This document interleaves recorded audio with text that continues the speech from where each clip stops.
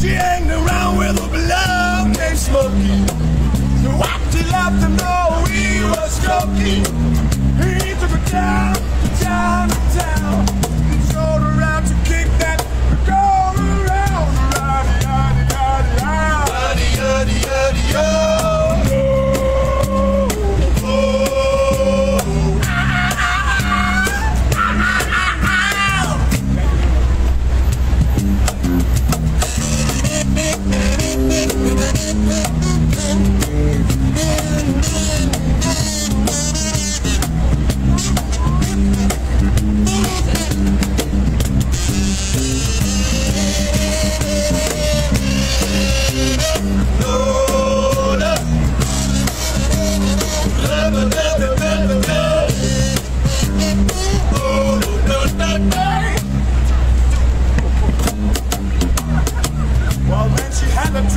The King of Sweden.